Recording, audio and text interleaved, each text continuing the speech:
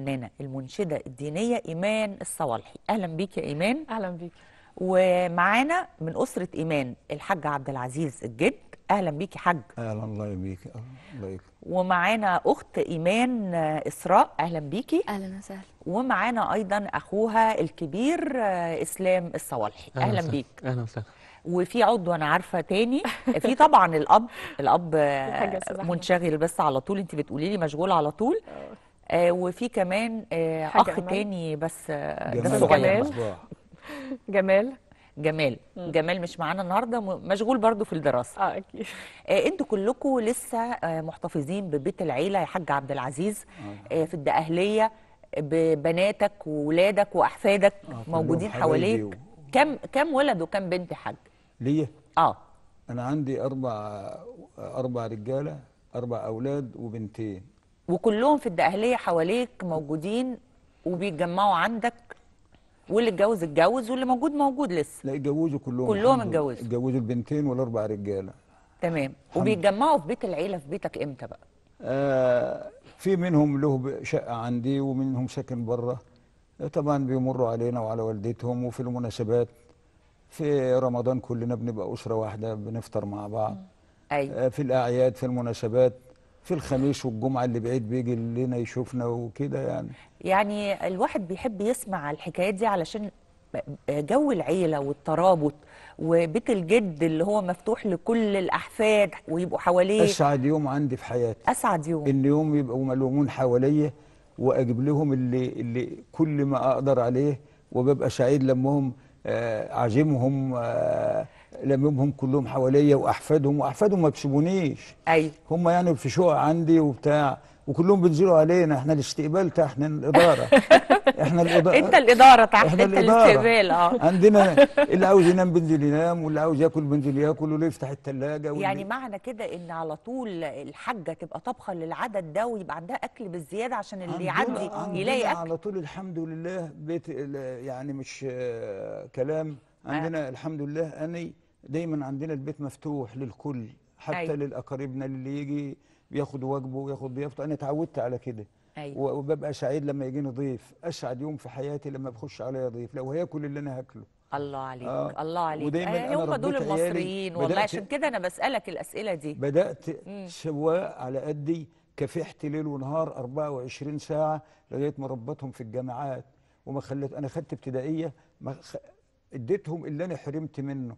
إن هم يكملوا تعليم إنهم كملوا تعليمهم. عندي بين الأستاذة أم ال- آه، الأستاذة إيمان. آه، جا- آه، إسلام. إسلام آه، مدرسة إنجليزي موجهة النهاردة في إدارة منية النصر جنبنا ما شاء. الله. فكلهم اتعلموا يا حاج أيوه عندي ولادك. أشرف بكالوريوس تجارة ومتجوز دكتورة. أيوه. وعندي محمد معاه كلية آداب. أيوه. وعندي سامح مهندس كلية هندسة في السعودية. كنت بتكافح وبتشتغل سواق وليل كنت بواصل ونهار. الليل بالنهار. مم. من أجل إن أنا أوفر لقمه العيش الحلال أيوة. وربيهم تربية صالحة تربية ربنا حسنة. يديلك الصحة لأنني عشان لم لما أموت يقول الله يرحم ابوهم بعد الشر، ربنا رباه. يديلك لا. كلنا كلنا لو حد يقعد كان الرسول عليه الصلاة والسلام عليه كلنا هنموت. بس بالميعاد والسلام. أيوة. كل واحد بيجي دوره هي. محطات حاج بس بقى الذكرى العاطرة وإن صح. وكان أبوهم صالحا رباهم ما أذوش حد ما ما اعتدوش على حد آه سيرتهم طيبة تعاملهم مع الناس حلو محبوبين بين المجتمع بيفيدوا المجتمع ما بيضروش دي الميزه اللي أنا شوف يا. حاج اللي يسمعك بتتكلم اولا استحالة يقول إن معاك ابتدائية بس. يقول إنك مكمل تعليمك آه، ويعني أنا كان عندي هواية. وإحنا دايما بنقول الثقافة ملهاش علاقة والممارسة والتجربة من الحياة أنا عندي العملية. هواية. في الإلقاء أمسك الميكروفون أخطب. يعني في مرة كنا بنعمل دعاية لمرشح من المرشحين ووكيل وزارة كان آه، في الأزهر في الأوقاف خطب وأنا مسكت الميكروفون وراه. احتضني وقعد يبوس فيا. أنت اتخرجت مننا جامعة. انت طالع منها كلية انت مسحتني اي والله ده حصل. قلت له دي من عند ربنا ده موهبة. مفوه كده من عند موهبة. ربنا. بتقرأ قرآن يا حاج آه بقرأ بقرأ قرآن. بتحفظ ع- على قد يعني في آه. رمضان مواظب قوي. آه، في غير رمضان مثلا آه، آه، صفحة بتاع بسمع القرآن آه، أيوة. واجيد القراءة. بحب دايما أجيب الجرايد. أيوة. عندي ثقافة في الجرايد عشان- أيوة، لازم اعرف البلد ماشية أيوة. إزاي. آه، ده كنت- غير بقى التجربة اللي هي من الحياة بقى العملية بقى وال- وواقع الحياة اللي انت كنت خدتها. دايما وأنا بشتغل مجهد وبتاع وكنت أتعمد إن أنا يوم ويوم أو كل أسبوع أفوت على المدرسة اللي فيها أولادي. يا أستاذة البنت دي ما بتقراش كويس راجع متابع كويس. متابع. طب يا حاج أنا هرجع لك تاني بس إحنا معانا بقى آه، نجمتنا النهارده. آه، منشدة دينيه أنا ببقى مش عارفة أقدمك أقول فنانة ولا المنشدة الدينية وببقى خايفة إن الصراع ده يبقى جواكي أنت كمان. يعني أنت عائلة محافظة جدا عائلتك لسه عايشين في الدقهلية. آه، وفي نفس الوقت أنت اخترتي الفن. حتى لو كان الانشاد ديني فهو فن. أكيد. مش بتحسي بالصراع ده يا إيمان جواكي بين الفنانة آه، وبين آه، الإنسانة المتدينة المتحفظة اللي عيلتها آه، لسه متمسكة بالتقاليد ومتحفظة قوي. ما انكرش بصراحة هو فعلا الصراع ده موجود جوايا جدا يمكن من ساعة ما دخلت الوسط الفني وابتدى يكون لي اسم. يعني ما بقتش مثلا كمجرد مقلدة لبعض مشايخنا الكبار أو لبعض المطربين زي طبعا المطربه العظيمه ياسمين الخيام. لما بدأت اللي أنا أشتغل لوحدي وأعمل اسم اللي هو إيمان الصوالحي إن يكون أنا بشخصيتي ابتدى الصراع ده جوايا. خصوصا انت خلاص بقيتي في الوسط الفني وبقى ليكي مسؤولية. ها. أيوه. هي ترى هتفضلي ثابته على نفس الموقف وتحاولي تنميه وتحاولي تنمي الهدف ولا هتحاولي إنك تغيري أو تدخلي مجال تاني ممكن يكون أوسع من المجال اللي انت حباه أو حابة تنميه آه، في المجالات الفنية أو سواء في الإيرادات المادية؟ وصعب صعب إن انت تحافظي على التوازن ده ما بين الحفاظ على التقاليد وما بين العالم الفني أصل ممكن برضو انت طبعاً. تمشي بمفاهيمك وبمبادئك انت. آه، مش ضروري كل اللي يبقى في الوسط الفني آه، ينجرف. محترمين كتير. أكيد. آه، ده صعب ولا سهل؟ لا مش صعب ابدا مع الإرادة ومش صعب مع المبادئ والأخلاق الصحيحة اللي إحنا اتربينا عليها من صغرنا. ده دايما يعني أنا مثلا في الوسط الفني والدتي ما كانتش دايما بتسيبني خالص. كانت كل طريق ليا أو كل خطوة ليا كانت بنصيحة. أو كانت بحكمة. يمكن هي اللي كانت بتشجعني اللي أنا أكمل. أيوة. بس كانت دايما كانت بتقول لي حاجة. يمكن الأخلاق والمبدأ اللي أنت اتربيتي عليه هو اللي هيفضل حافظك. من أي شر. وعارفة إيه تاني اللي يحفظك؟ اللي يحفظك غير طبعا المبادئ والتدين ده أساسي. اللي يحفظك إن أنت صاحبة موهبة حقيقية مش مدعية. آه، فأنت مش مضطرة غير إنك تظهري موهبتك وتقدميها. ربنا وساعتها تفرضي نفسك. أكيد. طب أنا أجي لاسراء بقى. ال- اسراء آه، أصغر طبعا منك يا ايمان إس- أصغر مني آه. إسراء انت ما يعني ما فيش آه، اتجاه للغنى ولا انت انت عايزة تبقي إعلامية ده اللي أنا فهمته منك قبل آه التسجيل. أنا يعني ميالة للإعلام شوية أو ميالة لمجال الإعلام شوية. نفسي أبقى إعلامية و...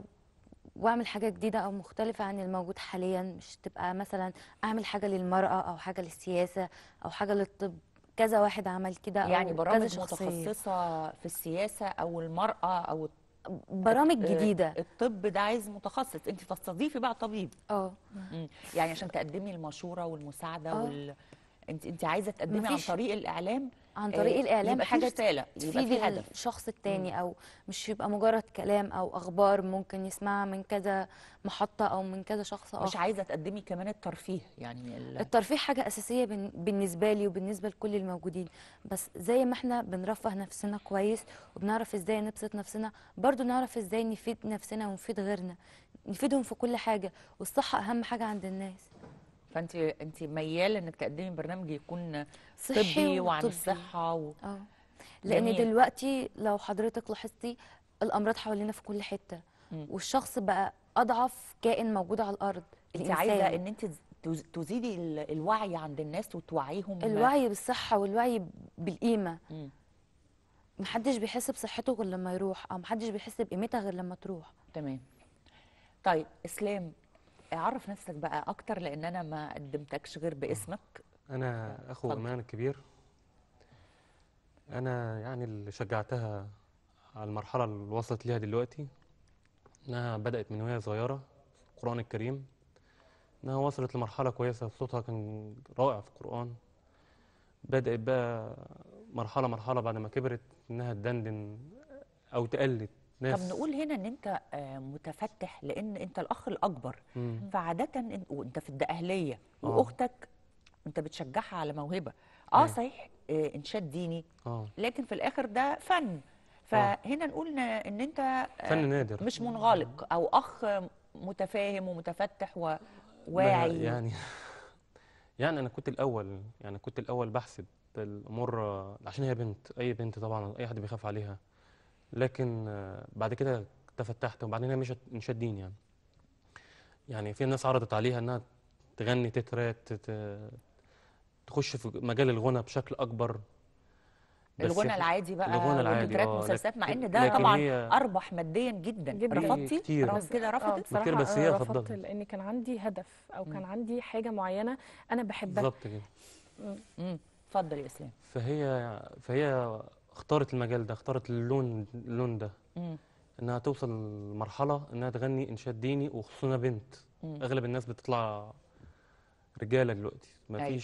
بنت يعني نادر آه ده ده تحدي عندها بن- الجرأة آه عندها تحدي لك. كبير طب أنت بالنسبة لك أنت بقى اسلام أنت خريج إيه خريج تجارة تجارة وبتشتغل شغلك الخاص آه والدي أيوة، مع فتح والدك. مشروع خاص بيه تمام آه طيب نقول بقى يعني إن إحنا عمالين نتكلم عن موهبة إيمان الصوالحي عمالين نقول. صوت إيمان الصوالحي آه أكيد المشاهد عايز يعرف بقى الموهبة وأبعاد الموهبة اللي قدامه. فأنا هسيبك تختاري بس أنا شخصيا بحب أتمنى أبدأ بمحمد يا رسول الله. يعني لو صلى الله عليه وسلم. عليه الصلاة والسلام. اتفضل.